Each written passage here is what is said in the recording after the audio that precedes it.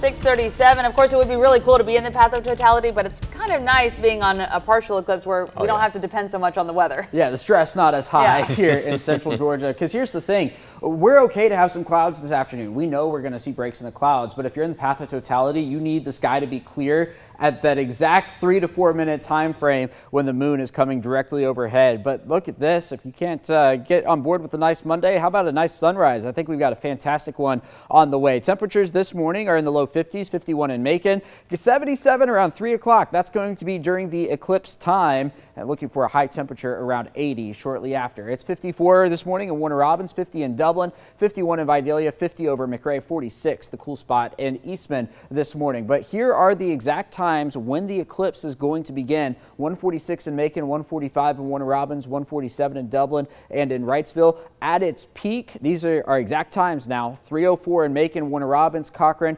303 in Unadilla, 307 in Soperton, 306 in Sandersville and 306 in Sparta, and then coming to an end right around 420 later this afternoon. So here's what it's going to look like. The moon coming in from the bottom right at its peak around 81% in Macon and then exits up to the top of the screen. Now, just a reminder through the course of the day today, you need your solar eclipse glasses to look at the sun at any time. At no time in central Georgia today is it going to be safe to look directly at the sun. So here's what to expect. Houston County, 145 is when it begins at its peak at 304, coming to an end around 420. Over in Montgomery County, beginning at 147, at its peak at 306, coming to an end at 421. We've got a full county by county breakdown on 13WMAZ.com right now.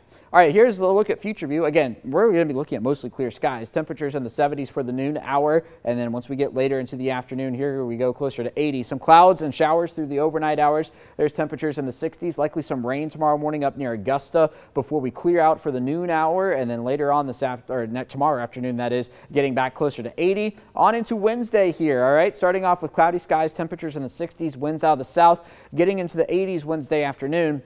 And overnight Wednesday into Thursday, watching for the risk of maybe some strong storms. You see the GFS and the European models on top of one another, both putting thunderstorms over the area, and the Storm Prediction Center is in agreement with a uh, equivalent of a level two risk area technically in place across central Georgia for Thursday morning. Mapping out the details of this coming up in the next few days because we still have some details to iron out as we work our way closer to it. As for the weekend though, 77 on Saturday, 81 on Sunday.